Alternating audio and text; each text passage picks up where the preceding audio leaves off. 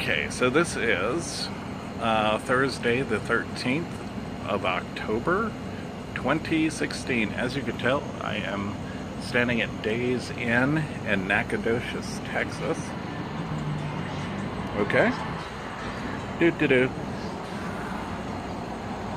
Moderately hot guy over by the Coke machine.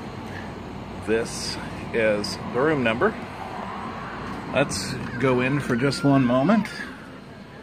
And as you can tell, mom is playing um, a game on Facebook, I think.